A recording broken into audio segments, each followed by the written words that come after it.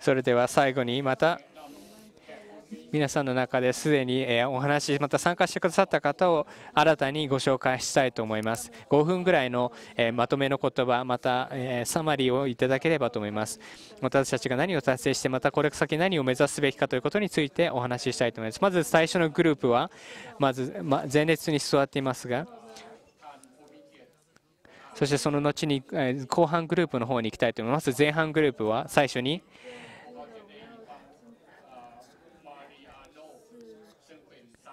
えドミニカ共和国をのマリアノ市を2つ始めたもです。ですので、まず最初に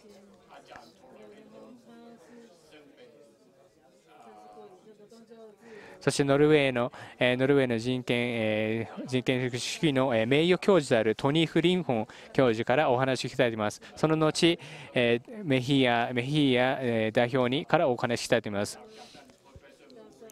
そして前列に座っている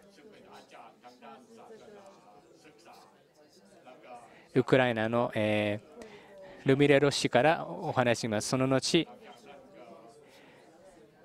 そしてペルーのリマのガルシファ氏からお話を聞きたいます。その後、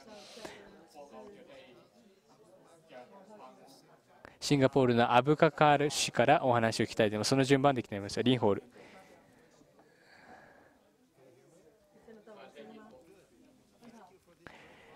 この名誉に心から感謝しています。そして皆さんに最後の部会にお話しできる機会に感謝しています。そしてコール・デュアラハム氏から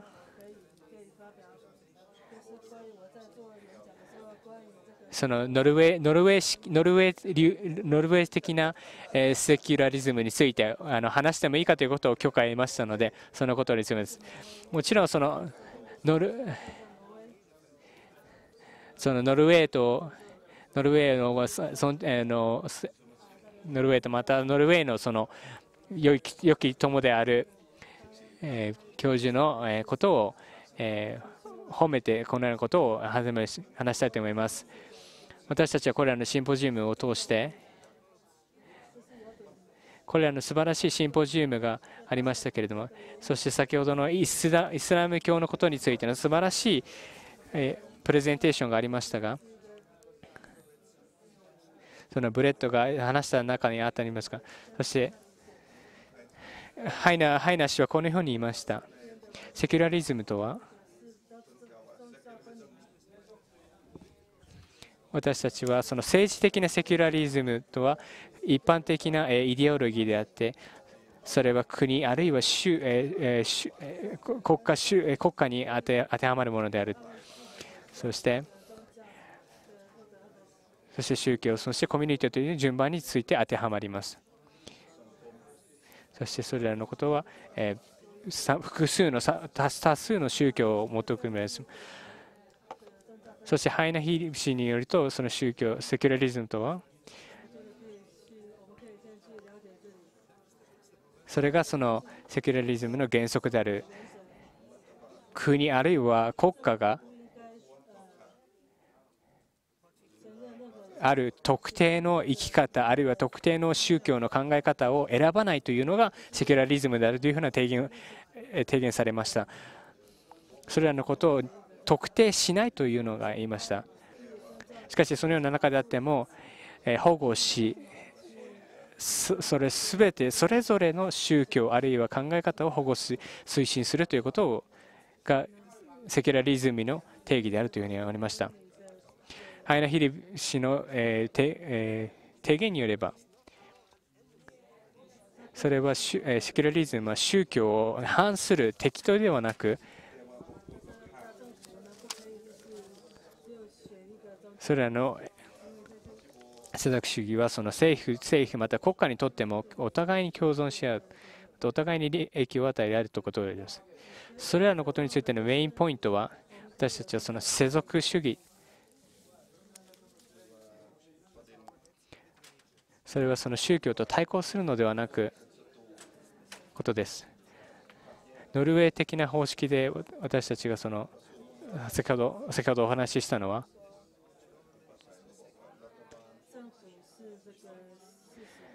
それはノルウェーの国家はノルウェーの方はさまざまな宗教を保護しまたノルウェーに特定なのはその宗教を経済的にサポートしているということですまたモルモンにおけるノルウェーはそれらの、えー、それらのことが私がそのまとめの言葉にしたいと思います。まあ、ヒアお願いします。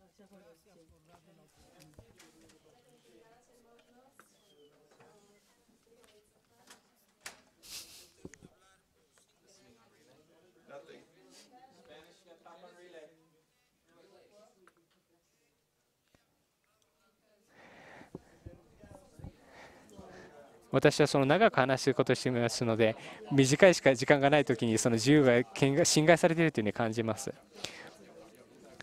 私はドミニドミニカ共和国から来ました。私はそのドミニカ共和国の最高裁で職を得ています。このシンポジウムで私が学んだことはたくさんいくつかあると思います。まず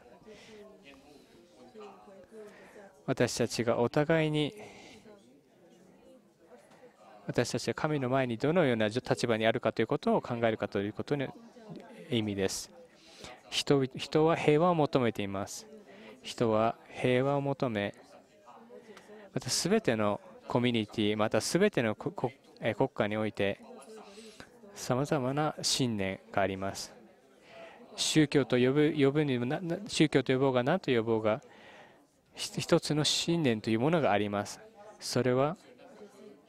それは私が自国に持って帰る、このシンポジウムから自国に持って帰るものです。また私がこれをシンポジウムからもう一つ置いて自国に持って帰ってくるのはそして時間を通してどのようなさまざまな宗教が生まれてきたかまた分かれてきたかということです私個人の考えとして私たち一人一人がそれぞれのさまざまな、え何を聞き何を考えまたどういうことを確信を得るかということを個々に得るということをしています。その人が信じていることがその人自身の宗教になります。私たちそれぞれにとって真の宗教というのが私たちが告白するそのものであるということです。そしてそれを宣言するときには何も他の宗教の意見は聞きたくないというふうに思うわけです。それは私自身の信念であるということです。もう一つの重要な側面ですけれども、そして同じ言葉を繰り返しますけれども、重要な人類にとって重要なことというのは、まあ、人間から答えをもたえももらうことではない、これはもっと高いところから来ることであるということです。これが信じることの重要です。この啓示というのは、このそのプロセスで、えま神様が一人一人に啓示を与えるということなんです。それぞれがその人自身の神を持っているということです。私たちはしかしながら、他の人のお話を聞いていましたら、まあ、他の人の意見から学ぶことができます。人間というのはやはりあまりたくさんのものを持たない、そして絶対的な真理というものを求めるわけなんです。そしてその信仰を見つけたときには、求めたもものへの説明を得たような気がするわけです。しかしながら私たちが求めているものに対する説明を求めても、まあ、それは永遠にこれを守らなければいけないものとなります。しかし、したがって信念というものが受け入れたものを真実として永遠に守ろうという心情に変わるわけです。もう一つの、まあ、側面なんですけれども、私たちの人生の中のすべての観面観点で重要である例えば法律とかコミュニケーションとか科学とかそしてまた毎日の日常生活の中でも宗教というのは重要であるということです。そしてまあ、このいろいろな宗教について学ぶことは重要ですけれどもしかしながら本当に学んだものというのは、よりよく神様に対して準備ができるということになります。ですから神様を見つけないものが知識がないものである。宗教を求めるのかあるいはその世俗主義を求めるのか。今世の中は世俗主義を求めているように見える。また自治を求めているように見える。しかしながらそれ世俗、そしてまた宗教、自治というものを考えたときには、やはりそれを求めたとしても、宗教を諦めることはできません。これはなぜか分かりませんけれども、これは私が確信しているものです。これは何でもに当てはまる。しかしながら、最終的には何かを信じている。これが自分自身の宗教ということであります。一つ、もう一つの側面があります。私たちが宗教を持っていても、それを他の宗教の人たちに共有をしたいと思います。ということは、彼らを尊重しなければいけないということです。尊重するというのは、まあ、昨日申しましたけれども、私はこの最高裁の裁判官としていつも同じような口調で同じような声で、えイエスと言ってください、あるいはノーと言ってください、えと、まあ、信者に言う。あるいはイエスかノーか、あまあ、私の宗教のを持つ信じている人たちに言ってくださいというようなことを言います。ですから私たちは本当にこういった賢いやり方をするには知識が知恵が必要だということです。いくつかの現象があ私の懸念事項となっています。例えば、ある国に、いくつかの国におきましては、もう状況というのは寛容できないものがあります。そして人を殺したりすることができます。というのは、違ったその心情を持っているから、自分とは違った心情から持っているからということからです。ということは私たちはある一定の心情を宗教を信じているということです。例えばナイジェリアのケースなんですけれどもそれによってこれは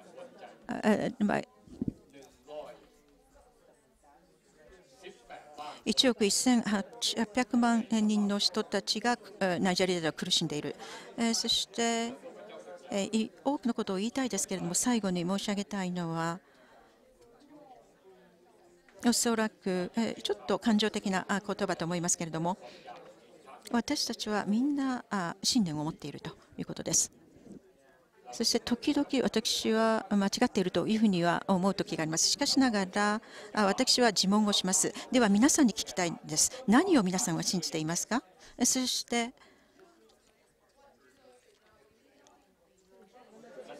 何？なぜこの信じることをしないのか、これに対する答えというのは分かりません。オベルト・エコの本というものをまた読みたいと思います。それは答えがあります。それではどうもご清聴ありがとうございました。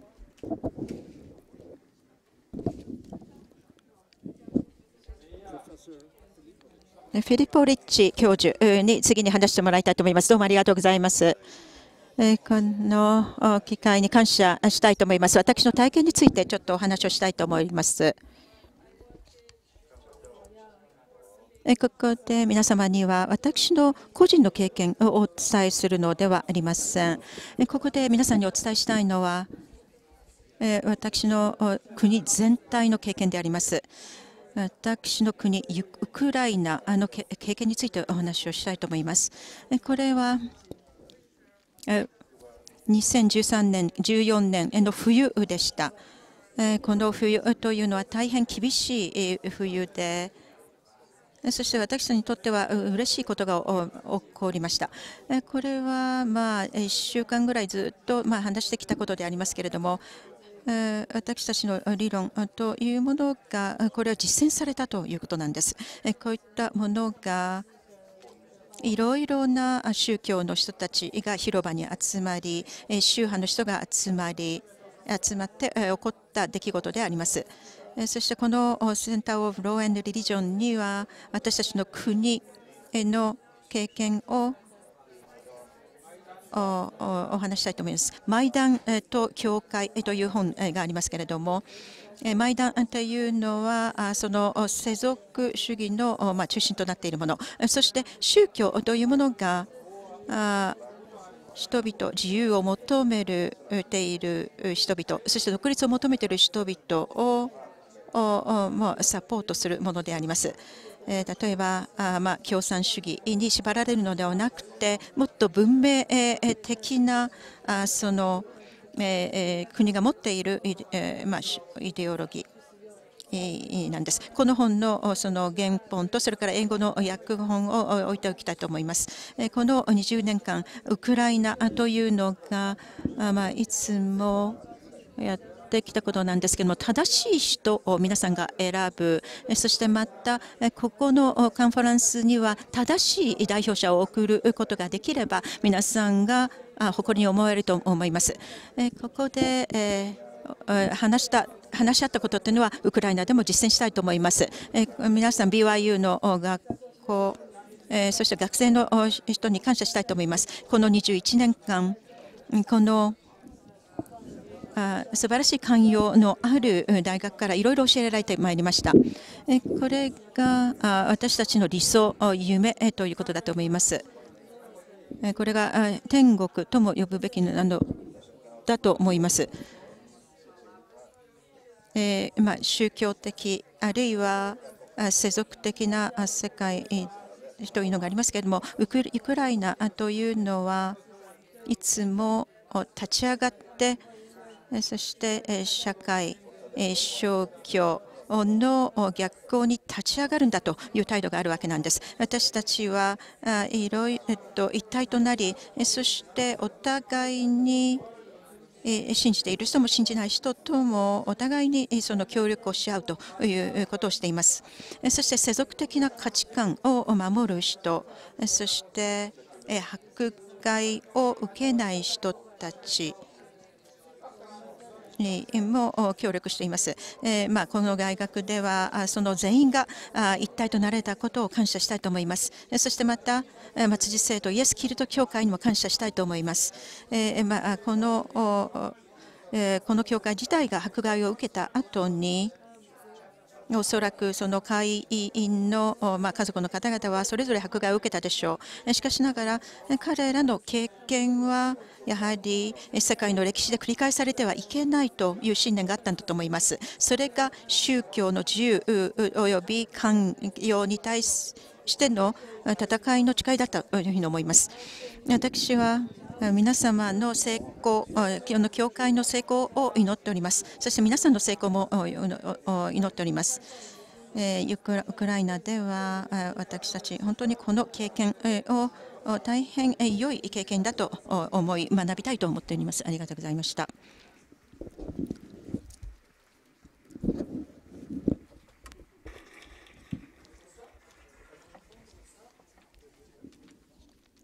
どうもありがとうございました。フィリポビッチ先生、どうもありがとうございました。それではここで次にガルシア・モンテファ教授からお話を聞きたいと思います。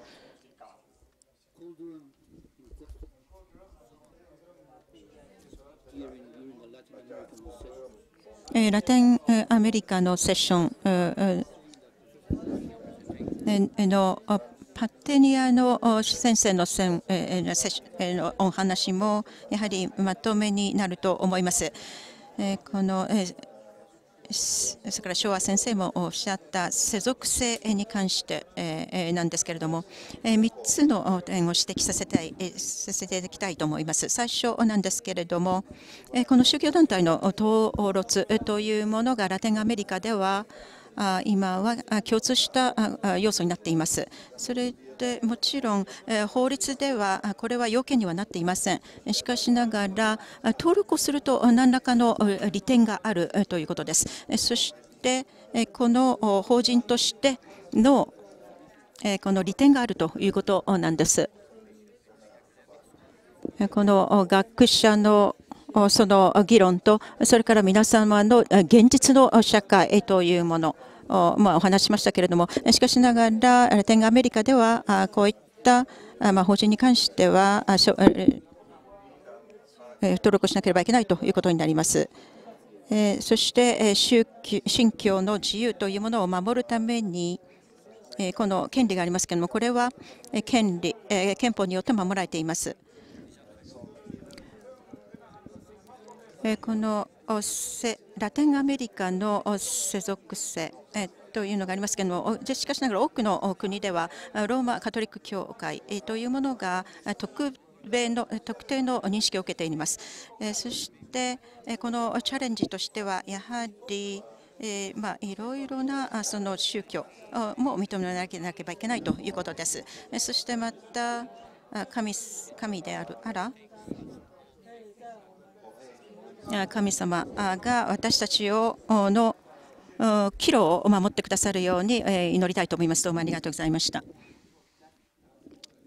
どうもありがとうございました。ヤルシア先生。それでは次に、モルハルシ・アルブワッカ、シンガポールの教授からお話をしたい聞きたいと思います。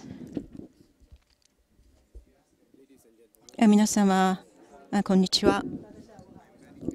まあ、ここで、えお招きをいただきまして、21回目のロー・エンド・リリジョン・シンポジウムにお招きを受けまして、嬉しく思っております。この何日間の間、多くの素晴らしいスピーカーの皆様が、このシンポジウムのテーマである世俗主義、宗教および法律の多様性についてお話をされました。このシンポジウムによって私の世俗性、世俗主義宗教、そして、えー、と法律、さまざまな国のものを理解することができました。この経験、というのをもとにして、このシンポジウムというのは大変素晴らしい価値があると思います。そしてシンガポールでの、宗教観の法律の仕事がさらに高まると思います。そして、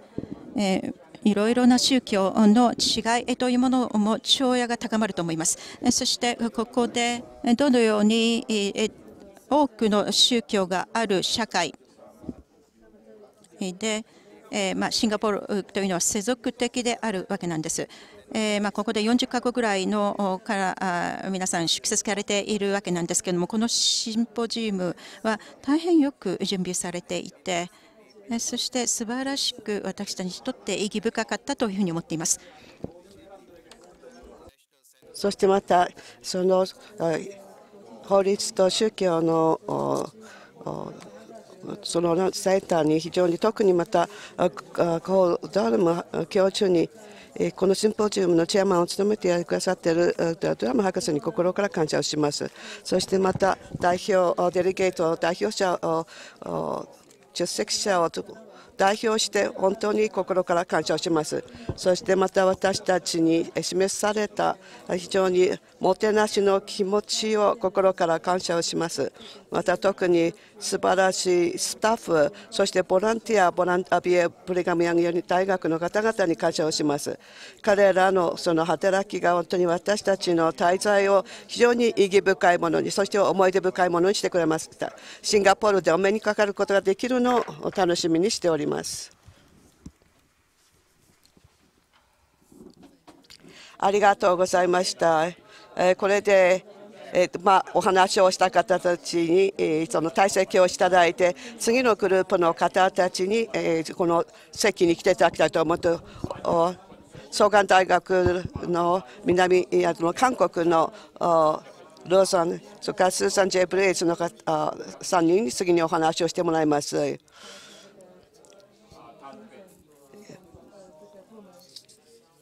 そのイギリスの方にお話しています。ジェイ・クレフォート・ウェルスさんにお話しています。その裁判官の方でいらっしゃいます。その次にはエリザベス・クラーク教授のお話をその後にしていただきます。その順序でどうぞお話をお願いしたいと思います。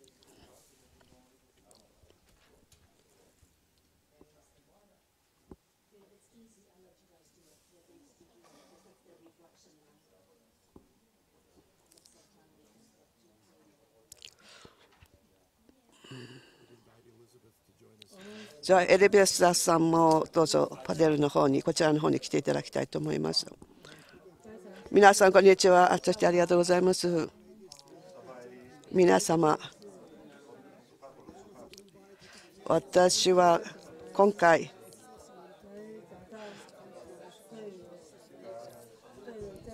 このえ、このセミナー、そのシンポジウムの3日4日間の経験について、その概略を述べてくださいと言われました。私はこの素晴らしい経験をしたと思っています。この3日間、私はここに参加してくださるすべての方々、男女、この多くの方々がこのご高齢の方であるということ。それとそれをはですね、これは非常にこのシンポジウムというのが非常に深刻な扱いを受けていることであると思います。そしてまだ、私はまた希望するのは、ご年配の方だけではなく若い世代の方たちもこの一緒に参加をしてですねさまざまなアイデアであるとかよをほんのり接して次の世代にそれをつないでいってほしいと私は考えます。そしてまたその法律とそして宗教と宗教というのは本当に2つの大きな柱でありそれが社会を支えています。そしてその平和の秩序というそしてまた安定をそれが与えるものでありますそれが毎日の生活を支えているわけですその現代社会というのは世界中のどこでも同じですけれどもさまざまな問題を抱えそして混乱を経験しています。その平和というもの平安というものが感じられていないかもしれません。そして私はこのシンポジウムに来ると決めた時に私は自分の国に特別なお土産を持って帰りたいと思いました。なぜかというと私はこれは非常に重要なことだと思うからです。このこのシンポジウムの間に私はいろんなものを観察しました。まるで病院のような感じです。そのいろんな問題のその病気のその診断とそしてそのそれを改善するための処方というものが与えられていたと思います。その診断というのは私を含めた多くの人たちがですねその世俗化あるいは世俗性というものそれがよく理解してなかったということになります。このシンポジウムを通じて私は非常にあその概念的にその世俗主義と世俗性というものには違いがあるということを理解しましたそしてまたその政治性というものもあるということですね。ですから世界中のさまざまな場所においてあの私の会社だその国ではなくだけではなく多くの国々が似たような問題を抱えているということが分かりました。その国によってはその合法性というもの問題がある国もあります。そしてまたそのその人々のその信頼というものそしてまたその権威の消滅というような問題もあります。そして多くの人たちは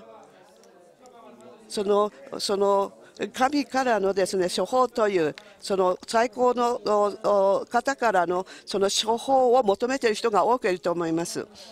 それが宗教的な秩序というものはそれはその最も高いレベルのその処方を先の社会にもたらすことができると考えられています。そしてその処方というものに関してはそのみんなが合意しているわけではないかもしれませんがその合意に至る道が道について合意をしたというふうに感じます。私はアジ東アジアの国々を代表しているわけではありませんが私は韓国の場合をご説明したいと思います。韓国の憲法というのは政府は中立でなければならないとしています。それは宗教についてです。そして教会と政府というのは全く分離した別個の存在であるということに、えー、その憲法は語っております。しかしながらその国家のその大統領がそのその宗教グループのその式にいろいろ参加するということは歓迎されているわけなんです。なぜかというと社会というものはその昭和を必要としているそしてその宗教を通じてのその問題の問題を解決する方法を求めているからですね。そしてまた、えー、そのノルウェーについての問題例であるとかクロアチアの問題そしてまたラテンアメリカのもあの例とかさまざまなものを学びましたそしてスペイン語そしてフランスの問題であるとかさまざまなものを学びました。これを通して私は本当にたくさんのことを学んだと思います。私はこの自分の国にこのようなお土産を持って帰ってくることができることを嬉しく思います。ありがとうございました。ありがとうございました。私が何と何を言おうかと考えていたんですけれども私はここのホストの方が言ったことシャーフツさんが言ったことですね彼が私たちを彼の彼ののホームグラウンドに招その歓迎することができて嬉しいと思いました。それは私が本当にこう感じたことなんですね。ここの教会の人たちはその大学のことを誇りに思い、そしてまた、そしてまた、そのその法律と宗教ののことについてこのホスト役を務めして私たちをその家族の一員として私たちを歓迎してくれました。そしてダラム博士からですね一人一人のボランティアの学生までですね自分の時間を犠牲にして私たちを空港まで迎えに来てくださる。そしてまたそのそのそのまあ、ダラム博士のその車は非常に小さいですから私のイギリスの学生にそのようなことは任せられないと思うんですけれども皆さんがここで示してくださったこの素晴らしいこの美しい環境とその環境とそしてこの大学について非常に皆さんが誇りに思っているということを感じることができました。そしてまた素晴らしい天候ももたらしてくださったことを感謝したいと思いますそしてまたイギリスの雨からちょっと解放されることができたのは嬉しいことでした。私たちはさまざまな世界中から素晴らしいプレゼンテーションの数々を聞くことができました。そして学術的なその素晴らしい expertise であるとかそれからまた私自身のようなそのこのような問題について直接的にその民間レベルで分かっているものにもこのお話をすることができました。そしてまたそのこのシンポジウムのこのトピックについて、そしてテーマにですね、そして世俗主義、世俗化、世俗性ということについて、まあ、考えることができました。私にとってこれは私たちには傾向があると思うんですね。これはもう止めることができない、自分には何もできないと考える傾向があると思うんです。しかしだけど、それに、その自分に、それに立ち向かい、そしてそれに取り掛かるという、そのやり方を理解することができたというのは、私にとって非常に嬉しいと思います。そして私は楽観的でありたいと、なり続けたいと思っています。そして私はインスピレーションのはですね、特にあのピーター・コメンソーリー・ビショップからのあのお話、そのセキュラリズムに対する世俗主義に対する対応ということでは非常に現実的なものを提案をしてくださいまして、私たちがその住んでいるこの現在的なその社会というものはですね、これは社会の方向なんだ、それが変わって変わりついているのは止めることができないと思うかもしれません。しかし、私たちが思うところをですね、できるだけあの理論的に立ったのを皆さんに説明していく必要がるかもしれません。そして私たちは私たちと同じように考えなさいとそしてそれを強制するのではなく私たちはその理論的そして合理的な方法で人々が理解できるような方法でいろんな提案をしていくべきだと思います。私は国連で働いてるんですけれどもその国連ではですね寛容ということ許容ということをよく話します。他の宗教を許容することということですね。ビショップというのはその寛容許容というのは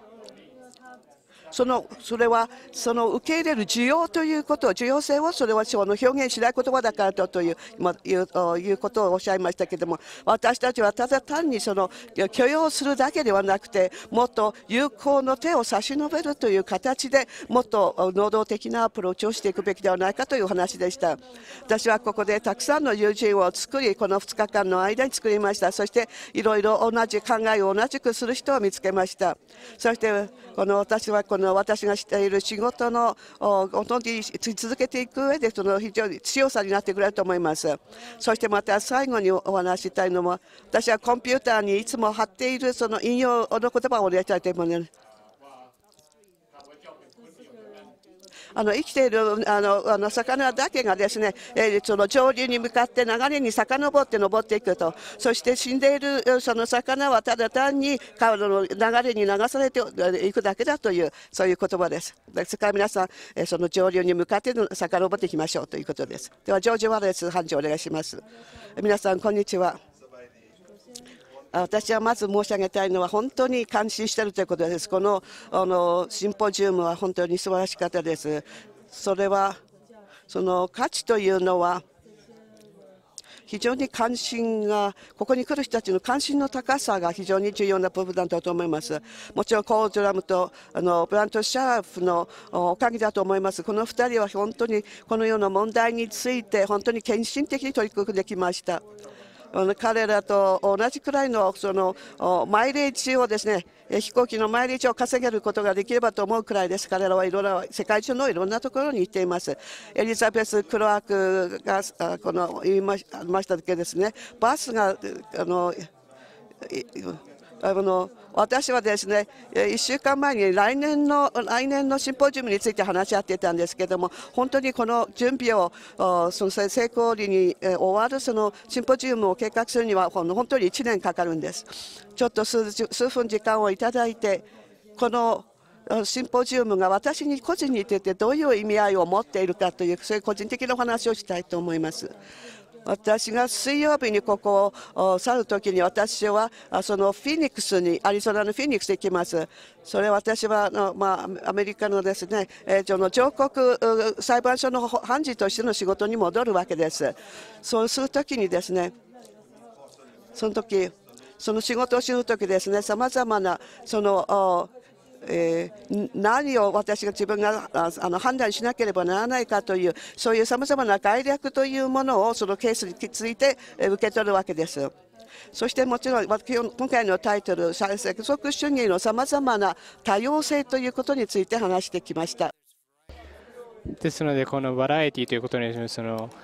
どっちかどっちに当てはまるかということについてあります。そしてそこに「ザ」という言葉があります。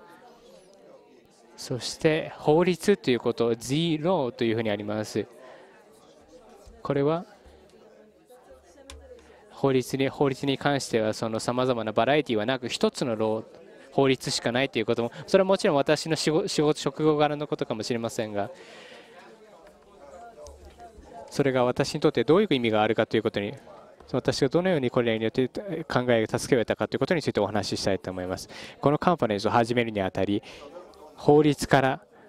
えー、ハッチ州、えー、国会議員がハッチ国会議員が日曜日の集,、えー、集会で法律がについてのお話ししました。そして国会国会議員としては法律を書く制定するのが仕事であるということがあります。そのはハッチ、えー、国会議員が言われたのは興味深い点でした。そして自分、えー、そして法律という私のその専門専門分野に関してついてことについていくつか言いました。ではどの法律何の法律かということについてお話ししたいと思います。多くの国々では組織やそして国、えー、憲法というものを制定されます。それは人々と国家がどのように働きかけるかということについてのドキュメントです。そしてどのどのように検討が制定されるかということについてあります。私たちはその憲法を私たち自身に当てはめて憲法を回り道を探すのではなく憲法を当てはめる必要がありますそして憲法の中には権利というものはあり考えはありませんそしてそのもう憲法の中に唯一ある権利というのはその、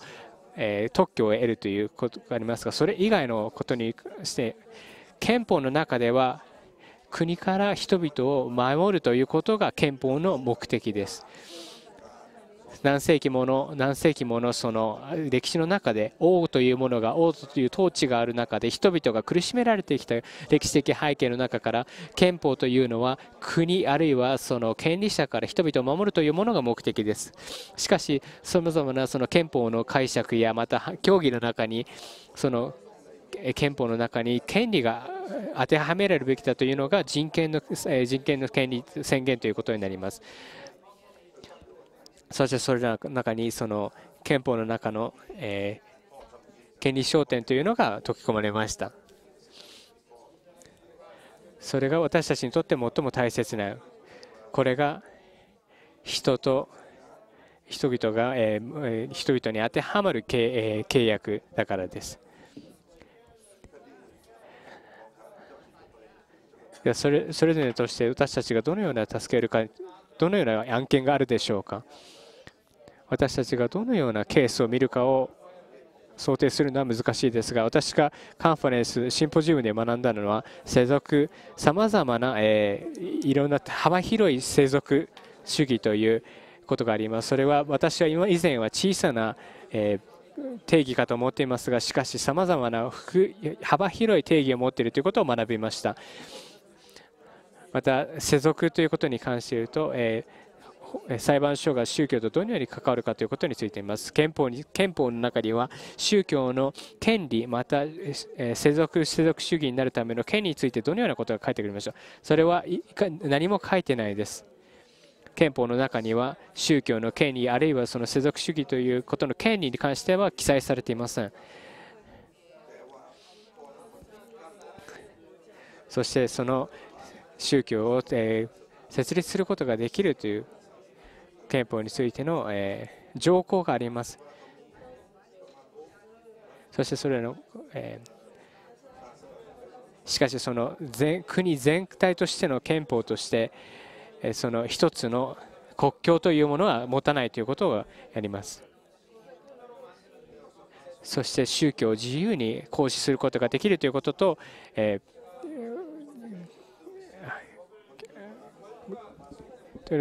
一線を引く必要があります。それはそれはされたのがなぜでしょうか？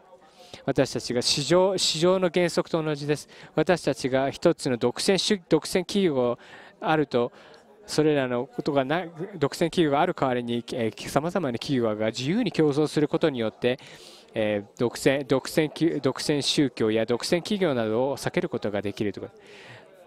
そしてすべての宗教が自由に、えー、宣教しまたその宗教を信じる人たちが自由にこう礼拝することができるそして国がそれを口差しすることができないということを一線を引いたのです。もちろんそのあのアメリカの、えー、国会議員の中ではその憲法というのは権利というものだというふうに見て取り扱う人がいますが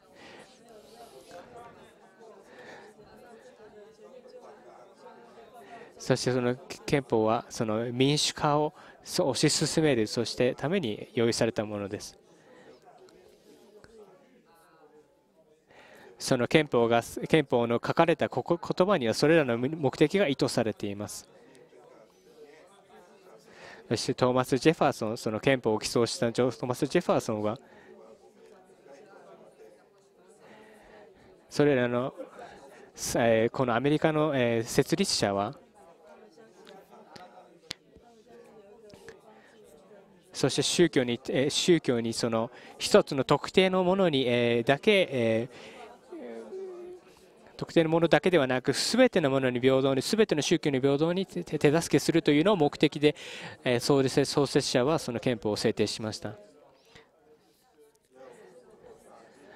ではそのようなプロセスそして世俗世俗世俗的な方法を通す時にどのような方法を取ることができるでしょうか。私はその世俗主義にことについて数過去数日で多くのことを学びました。皆さんのコメントをよく注意深く聞きました。同意するものも反対するものもありました。しかし私の中で一つ学んだことはそのこの subject についてこの世俗ということに世俗主義ということに関して無知だったということを気づきました。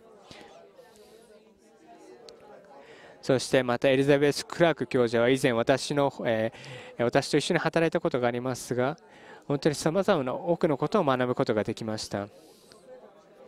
皆さんが発表してくださったプレゼンテーションの質の高さにそして、えー、投げかけられた質問は私にとって本当に大切なとても意味がある質問でした。皆さん一人一人にこの準備のために多くの時間を、えかけてくださ費やしてくださったことに感謝しています。私はこのカンファレンスを始めた始まったよりもより良い、より学んだ、より知識を得た人として得ること帰ることができることに感謝しています。そして皆さんの知識また皆さんの経験により私がこれからその自分の仕事として判事との仕事としてこれらのことをするときにより良い決断をすることができるということを知っています。そして皆さんにそれらのさまざまな国で起きていることがあることを学ぶことができることに感謝します。皆さん一人一人の参加に感謝してます。また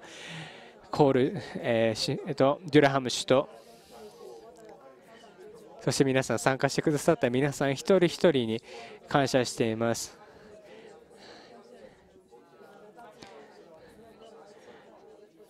そして参加してくださったこの大義のために参加してくださったことに感謝しています。ありがとうございました。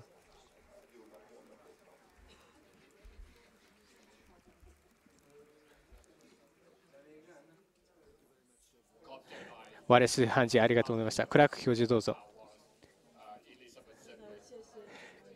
今日こうしてこの、えー、参加してくださったまたパネルとして参加してくださった皆さんに感謝します。私にとって本当に素晴らしい数日でした。ワレス判事が言われたように1年かけて計画をしています。そしてまた同時に私はその1年の間にこの素晴らしい数日が来るのを心待ちにしています。皆さんに本当に感謝したいと思います。私にとってこの、えー世俗主義、法律、宗教ということについて考えることに思いを馳せることは素晴らしいことです。そして皆さんのさまざまな幅広い意見、考え方を学ぶことに感謝しています。そしてさまざまな国における、えー、それぞれのユニークな問題、また考え方について聞くことが書れます。また私たちがこの先どこにどこにいてまたこの先どこに行くべきかということで考えることがありました私たちが共に共に集って私たちの公共の生活の中でどのようなこと意味があるかまた私たちが生活の中にどのような問題が立ち向かっているかということです地理的にこの、え宗教宗教の世俗主義というのがさまざまな大きな問題になっているという地域もありました。しかしこの世界中のすべての人たちがこの強さをお互いにまた考え方を共により寄せお互いに助けていくことができるということに素晴らしいことだと思います。私たちがお互いに助け合い、えー、そしてこのこのことについて考えたときにそのキリスト教の中の聖書のある言葉聖典の中に言葉があります。本当にこれは新約聖書パウロ預言者パウロがそしてその生徒たちに生徒たち一人一人が人の体であるということを言います。私は手に手にあなたに必要がないあるいは足に足が必要ないということはできない。そしてこのパウロの言葉のように私たちがこのシンポジウムでも当てはまると思います。それは各国々のその国と宗教との割合、え関係にも当てはまると思います。国とまた宗教がお互いに共存し合わなければならないということです。そして宗教が国はいらないと言えないとように言えないように国も宗教はいらないというふうに言うことができないということです。そしてお互いにそのコミュニティまたその、えー、国民のためにとしてお互いに強め助け合っているということです。そしてそれは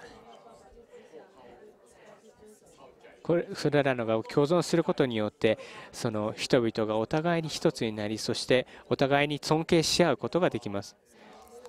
そしてまた国と宗教ということことあのことをさらかに超えてそしてあの感激したのはここに来た皆さん一人に感激していますメディア代表者とあるいは国あるいは法律の代表者の人時にあなたたちはいりませんということは絶対ないです。皆さん一人一人が貢献することができ、お互いに理解理解を強め合い、そして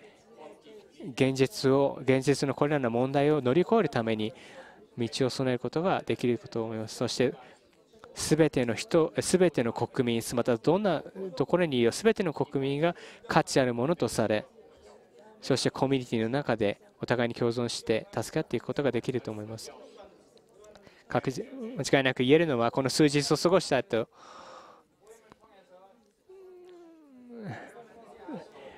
そしてこの世界中から集ってくださった皆さんからの交流を通してまたそれから芽生えた友情また考え方の交換することによって皆さんは本当に私にとって必要な人人たちであると思います。皆さんが遠路はるばるここに来てくださったことに感謝しています。ありがとうございました。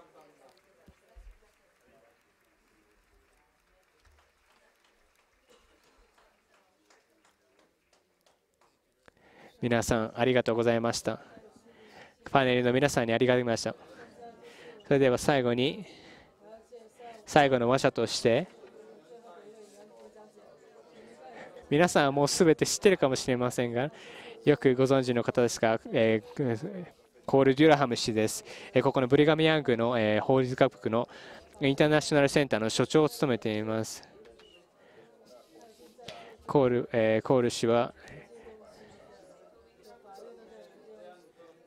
彼のこのビジョンにより21年前にこのシンポジウムが始まりました。そしてそのコールのビジョンとまた熱心さと献身さによりこのシンポジウムが何年も続いてきました。そして皆さんからさまざまな国の皆さんと会うことができました。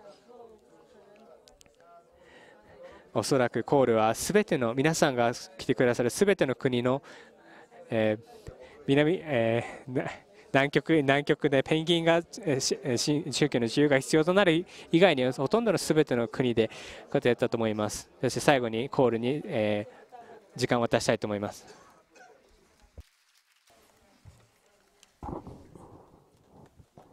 まあ、ここでまず最初に、まあ、他の人と同じようにスタッフ、学生、そしてサポーターの皆様に感謝したいと思います。そして出席者の皆様にも感謝したいと思います。えー、まあ、皆様の国から飛行機で何時間かかるか分かりませんけれども、その時間に感謝したいと思います。ここで特に、えー、通訳にも感謝をしたいと思います。えここには、ここからは目に見えませんけれども、しかしながら、あ特に、え、通訳に感謝をし、えー、するために拍手を送りたいと思います。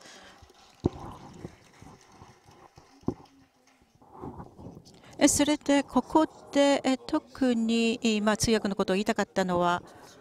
私はこのセッションで何を言ったらいいのかちょっと迷っていたわけです。ですけれどもこの通訳ということもちょっと話考えていました。前のセッションで、えまあ、通訳を聞きましたので、しかしながらずっと人生でこれのことを考えていました。私は比較法というそのものを勉強したわけです。そして私たちは比較法というものは素晴らしいものだから大切だというふうに言うんでしょう。まあ、法律の改正改革ということに、まあえーえー、と寄与するからなんです。えーまあ、しかしそれは社会的なエンジニアリングということではなくてもっと心臓外科手術のようなものでありオーエン先生がおっしゃったように病院のようなものでありいろいろなものが診断され治療されなければいけないということなんです。しかしながら、まあ、こういったことをするにあたってはやはり副作用も出るし、えーあまあ、悪い反応も出るアレルギー反応も出たりするわけです。ですからいろいろなことが、まあ、私たちの仕事を複雑にしているわけです。一つもっと複雑性を増しているのがちょっと考えていただきたいんですけれども病院そしてまた手術室ということを考えたときに今ですねヘッドセットをつけ使っていろいろな通訳を聞いてらっしゃる。これが現実というものなんです。こういったいろいろな世界にある問題を私たちが見るているというそのものだと思います。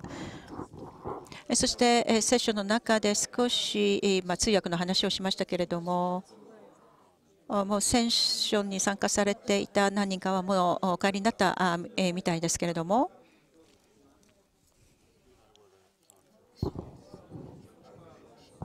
アンドレ・シャイロ判事と一緒にその一緒にミーティングにいました。シャイオというハンガリア語の発音なんです。20年ぐらいまあ先生とはまあ知り合いなんですけれども。そしてまあユダヤ人でありそしてで、えーまあ、宗教はない世俗主義を信仰していらっしゃると。ですけれども、何年も、まあ、知っている方なんです。えー、少し、えーまあお、お父様が90歳以上で、そして、え彼が、まあ、毎日世話をするしていらっしゃると、一人で。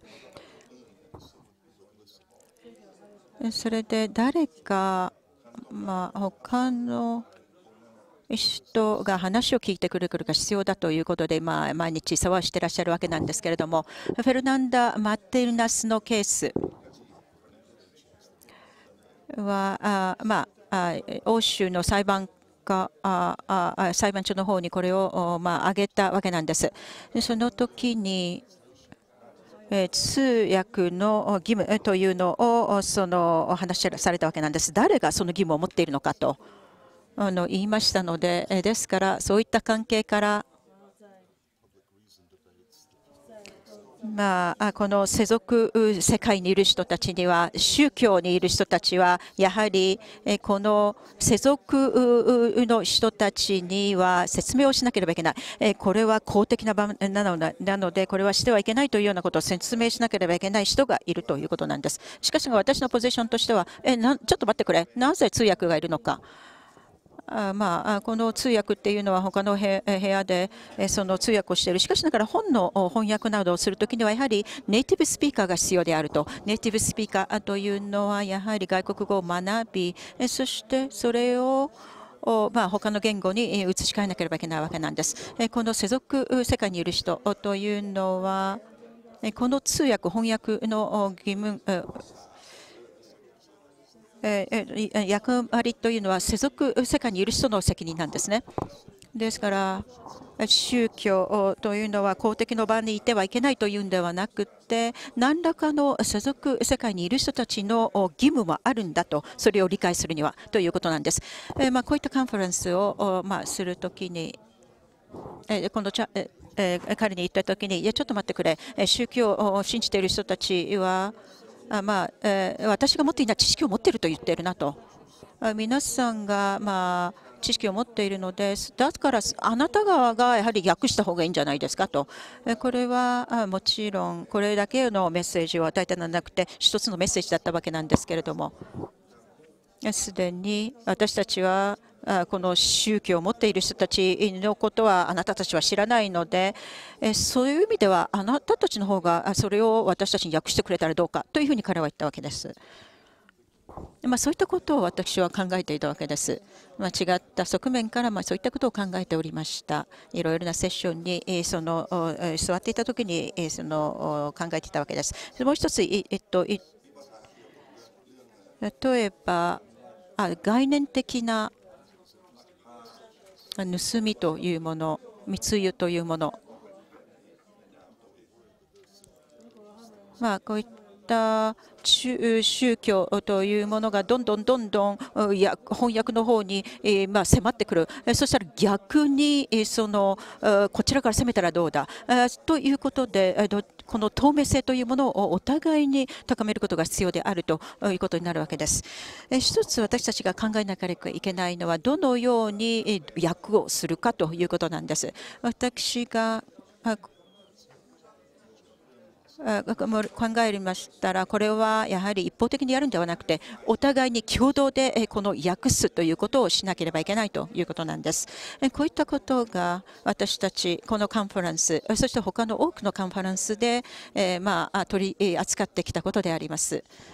実際、いろいろな違った世俗主義について、他のカンファレンスでもいろいろな話を聞いております。セロビック・ヤコビッチさん、別のカンファレンスのスピーカーだったんですけれども、その先生が言っていらっしゃったことを私も共鳴します。いろいろな、いろいろなタイプの世俗主義というものがあるんだと。私たちの世界というのは、まあ、ほとんど世俗主義の国家ですよね。全くの宗教国家ではない。そして、この世俗国家とし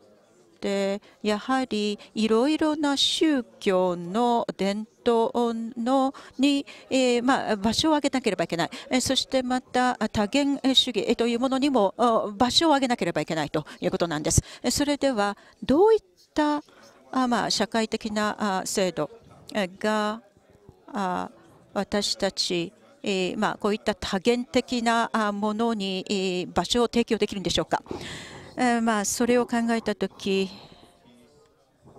やはり、まあ、どういったタイプの政府がそういった場所を提供できるのかというふうに思ったわけです。えまあ、これ少し時期を広くしまして、私何も年を取っているえー、まあ、あ来ているのかもしれないですけれどもしかしながら最初にこういったカンファレンスを設立した当時、えー、まあ、20年前なんですけれどもそのことを考えたいと思います。えー、欧州裁判所があ、まあ、この宗教の条項9条欧州の条約の9条のその訴訟を取り扱ったわけなんです。そして裁判所自体は、まあ、救助に関しては何も決めなかったわけなんです。ココナットケースという宗教のを説得させるというものでした。20年前に、ええ、宗教の回復、宗教の自由回復法というのを議会が、え、通したわけなんですね。え、日曜日の夜、8上院議員がも、え、おっしゃっていたものです。そして20年前に最初のカンファレンスを、まあ、設立したわけなんです。ビロクビッチさん、今どこに彼女が行ったのか分かりませんけれども、などと一緒に設立いたしました。それは素晴らしい、まあ、私たちにとっては実験でした。東欧で状況が変わり、そしてまた新しいその生き方というものを東欧で見つけたところでした。私は大学の学長を今いろいろな研究をされたところに連れて行ったわけなんです。これをしたのは大学の学場に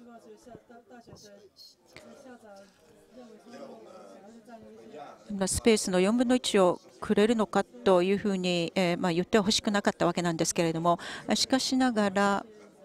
皆様がやってこられたことというのは素晴らしい功績であると思います。ウクライナウクライナの言葉というのは読めません、え、けれどもこの本一つ私感動的した感動したのはこのオレンジ革命をテレビで見た時であります。そして、まあ、その国で今起こっていることというものが今見れます。まあ、こういった状況の中で私たちはお互いを助け合う何が両側で起こっているのかということをお互いに訳し合うということが必要であると思います。20年前にクリッフォード・ウォレス・ジャン氏が最初のカンファレンスに参加されました。それからずっと1回を抜けて今、裁判長と、まあ、その太平洋で会わなければいけないということで参加できませんでしたけれどもですけれどもこういったサポートにより私たちがまあ、ここでシンポジウムを通して良いことができているわけです。20年前にエリザベス・クラークが、あまあ、学生であったわけです。えー、その時に、えーね、10月と4月に今こういったことをやっていたわけなんですよ。10月というのはこれは期末試験の2、3か月前ですよね。4月というのは、まあ、期末試験の2、3日前ということなんです。当時、もちろん通訳というのはいなかったわけです。まあ、この東欧の人のためにですねエリザベス自身が通訳をしなければいけなかったわけなんです。ですから、ここで少し学生がどういうことをしてきたのかということは皆さんお分かりいただけると思います。トゥアル・レントル、いますか ?1998 年に、まあ、こういったカンファレンス、こういったのに似たカンファレンスがあったわけなんです。カンファレンスというのはネットワークを作るためにその情報を交換するだけではありません。カンファレンスからはまあ、こういった本も出てきているわけなんですけれどもこれは私たち、まあ、デスクブックデスクというものなんですけどデスクブックと呼んでいるものです。これはよって、まあ、50人のまあ、信教の自由の専門家を集めるというのは素晴らしいことでした。それによっていろいろな基礎が築かれたわけです。一つ、まあ、私はネットワークだけを学んだだけでなくて何時間もかけてどのようにまあ、この違いを埋めるための余地を与えたらいいのかということを学びました。え、ここで他の自由宗教のことをそのを学びました。これは何も回収させるためではなくて、その宗教への尊重したかったからなんです。これがこの訳すということのプロセスの一部だと思います。私たちみんなやはり経験さというのを持っていると思います。そして他の人がこの経験さというものがわからない人もあるかもしれない。しかしながら、尊重をして理解できなくても尊重するということが必要です。それと他にもいろいろなことがありますけれども、ここで傾向として、今の時代、特に注意をしなければいけない国というそういったフレーズがあります。人権を侵害している国のことなんですけれども、私たちの国際宗教自由法の中に書かれています。私たちはどういったその国がそのリストに載っていても私たちのその国も入れなければいけないということです。それが違いを生むということだと思います。20年前に多くの時間を、まあ、東欧で過ごしました。そしてさまざまなことについて話し合ったわけですけれどもいかにどのようにして新しい法律を作る時に宗教に関する法律をその記す書くべきかと作るべきかということ。そういう宗教的な法律ということに関するとあなたはアメリカ人だから私たちには次は別のアプローチがあると。私たちの国にはその一番ま大きな教会があってそれを考慮しなければならないとよく言われたものです。そして私たちがうちに帰ってくるとその当時はですねその党のというのはそのソルテレク市の市議会においてそのその祈りがされているということがそれが憲法のに抵触しないかどうかというそういう議論がありました。そしてミーティングに行くとこのような経験をしたんです。モルモンでない人たちが私のところにやってきてこういうわけです。私たちが住んでいるのはこの私たちはその一番、まあ、最大の宗教があるという政府の中に住んでいるというつまりそれは特別にそういうところにおいては特別に少数派の宗教の人たちに特にその敏感性を感受性をセンシティブにに扱わなければならない敏感に扱わなければならないということを言ったんですねですからその少数派の観点から物事を見るということがに注意を払わなければならないと私は思います。そしてまた何がどういうことが起こったかというとここの裁判最高裁判所が非常に重要な決定をしたわけなんです。でそれはその政治的な問題をそしてその解決してくれたわけなんですね。それがもしなかったとしたら、その憲法への憲法のあの改正が必要になるんじゃないかとその時は思いました。そのそのソルトレック市の市議会がですね、その他のその少数派の人たちのために配慮してその祈りをやめたという経緯があります。ですからそれはですねそういうことを考えるとその世界全体のこの設定から物事を考えていくときに自分は自分はその多数派に属するかどうかということを考える前にですね私たちは皆少数派なんだということを考えるべきではないかと思います。そしてまたそういうことに関してそういうような敏感性というものを私たちは考えるべきだと思います。20年前私はそのこの翻訳をしましたこれを本を翻訳したんですけどこれは20年前に翻訳したのかと思うとちょっと感慨深いですけれどもこれはドイツの法律の原理について書いた本ですけれども、まあ、あまり有名な本ではありません。これはこれは短い本ではありますけれども難しい本でありました。それをそのそれに携わっていた時にそのその本の著者であるフェアバンクさんにですねと共に働いていた人と話をすることができたんですけれども、まあ、あまりその細かいことを話したくありあ時間はありませんけれども私の観点から言いますとなぜそのえこの一般のそのこの監修法というものがその監修法というものがいかにその普通のその法律と違うかということですですけれども、まあ、まあ、大事なことはその言葉の中でも何かその一つの言葉では言い表せない言葉があったということでそして何か別な言葉を作らなければ本当に別な言葉を作らなければ表現しきれないのではないかと思ったんですね。そしてギリシャそしてローマのそのその法律などなどではですねまあいろいろな点で大きな違いがあったんですけれどもそのその人はですね私が翻訳の非常に大きな方法あの大きな貢献をしてくれたので助けてくださったんです。で私が考えるにはその